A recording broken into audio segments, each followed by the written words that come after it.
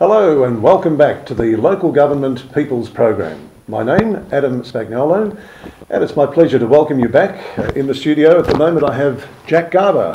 Welcome back, Jack. Thank you, Adam. Thank you. Pleasure Jack is uh, a candidate, of course, in the Hammersley ward of the City of Stirling. Uh, the City of Stirling elections, as we all know, are here, Jack. After all this time, gosh, it just seems to have, it seemed to be a long way away when I first started this uh, four and a half, five months ago. But now, look, it's almost upon us. Any day now, people are going to be receiving their postal voting packages. And of course, uh, voting will start. And the interesting thing about that is that I found out that statistically, uh, in the first week, 50%, 50% of returns actually go back to the Electoral Commission. That's an amazing statistic. Jack, um, last time that we spoke, uh, you were good enough to report to, uh, to us here uh, some of the happenings and some of the findings at the question time session over at the City of Stirling. And one of the things that came up at the last uh, actual uh, council meeting was the issue of the mayor's vehicle being involved in some sort of incident, accident, or altercation, call it whatever you will. The interesting thing about that is that the question was asked on the basis was, you know, was it involved in some sort of incident? And the direct answer, quite categoric, I understand, that came back was the fact that no, the mayor's vehicle was not involved in an accident. Now, like if that was me or you or anybody else, we would have been on the front page of the West Australian or probably the community newspaper. But um, no more's been Uh, yeah, said. Well, Adam, obviously you're a witness to the to the fact, and this was a clear whitewash of, of the uh, exact circumstances, Yeah, um, directly attributed back to the CEO of, for the city. yeah. Look, it's not about the incident. It's about the honesty. Yes. And, uh, you know, people have a right to know that there was some form of incident, and people have a right to know whether the gentleman that was struck is okay. And I'm pleased to report that um, he is getting better because I've actually checked on him. He is getting a lot better. He's still limping around a little bit, uh, and he's still quite shocked about what happened at that incident. Sure, Yeah. uh, I'm sure he is. Now, Jack, you attended the meeting last night. Um, actually, uh, it must have been a very short meeting. Obviously, everybody's in election mode. Uh, ordinarily, the meetings last an hour and a half, two meetings, uh, two two hours. But last night, half an hour, and it was over. What's going on? Well, clearly, clearly it was a very short agenda, um, and the a couple of items on on the agenda were inappropriate to be on the agenda, and, and during questioning time, I did bring did raise the issue along with another ratepayer, uh, Mr. Arnold Davies, who's a regular who uh, in attendance. Um, one of the one of the matters pertained to uh, the overcross at uh, uh, over Reid Highway, the pedestrian overcross at Reid Highway, and whether or not in the evenings that overpass should be locked. It was a, a political um, uh, uh, contribution to uh, one of the um, member, one of the members of council who is currently being under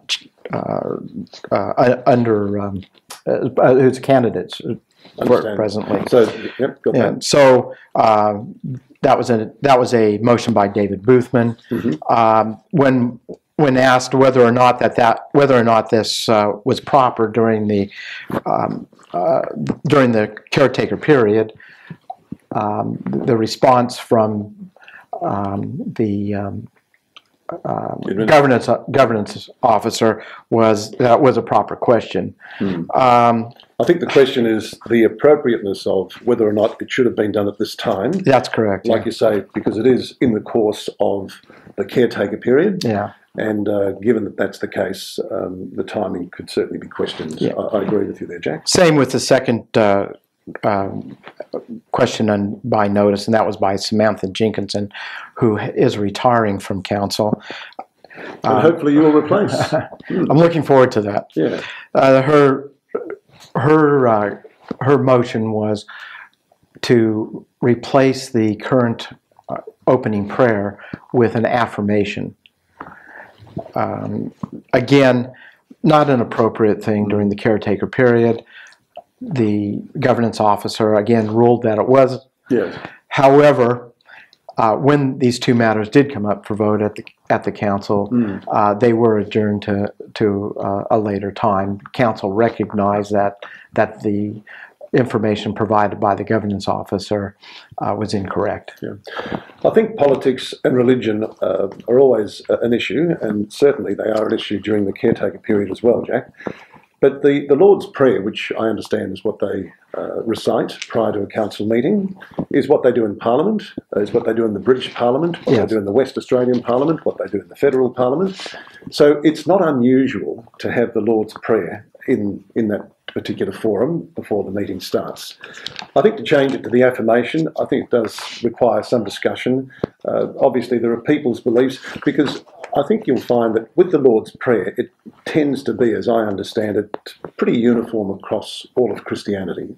Is, is that correct? That's your understanding? Well, it's pretty. Yeah. It's generally it's Yeah. generally I uniform. think when you start with affirmations and things that you know could possibly uh, steer away from what the intent of reciting the Lord's Prayer prior to uh, a particular meeting is all about. Yeah. Well, it's going to be something that I guess you and I will be addressing in the Yeah, future as, as a result of that. Yes, yes. Uh, and and possibly something like the national anthem could be played in, in, in place of that. Yeah, just got, just got to learn the words. I know the, the words to the first verse, but um, and and a bit of the second verse. And I was actually looking at uh, this uh, television or watching this television program the other day, and it was uh, André Rieu, you know the Sure. Ma- maestro, Sure. the master. Yes. there. He um, he was amazing. Uh, you know, he was actually uh, getting his orchestra to play the national anthem, and uh, everybody was singing along. It was actually in Melbourne, Australia, where this concert was held. And he played the first verse. Everybody sang it very well. Played the second verse. Uh, everybody sang it, you know, reasonably well. When it came to the third verse, there's only about two or three people singing it. Um, That's right. But look, you know, I've seen I'm that guilty of that too. I've got to say. Yeah, I've seen that clip as well.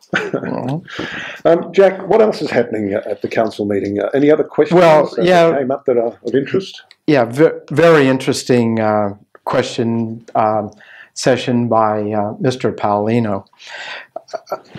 He's the mayor's boy, isn't he? Oh, he's the mayor's boy, is right. That's right. And this was a mayor's question. Oh, that was a setup, I'm clearly a setup question.